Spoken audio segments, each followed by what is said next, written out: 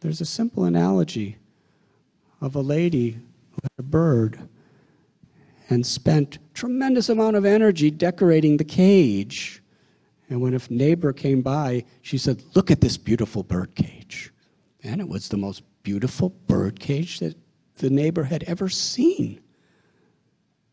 But she was horrified because the bird inside was dead due to starvation. The purpose of the cage is for the bird.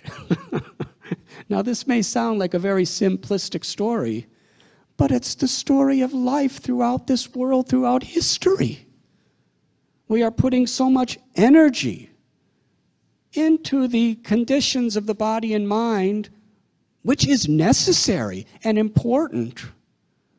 But yoga means to harmonize the body, the mind, and the living force, the soul, which is seeking pleasure.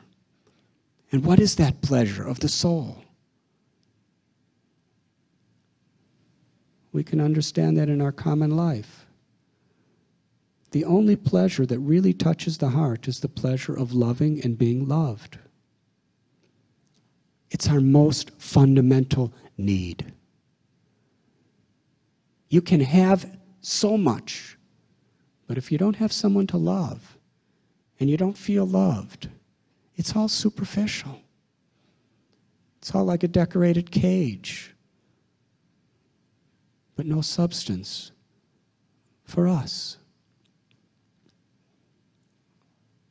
The Gita explains why this is common to every living being.